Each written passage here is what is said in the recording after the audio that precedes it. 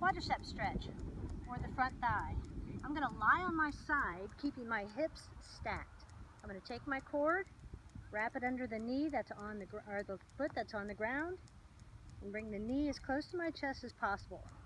I'm then gonna grab the ankle of my top leg, using my glute to bring the whole leg back, keeping the leg parallel to the ground, holding for two seconds, coming back to a starting position.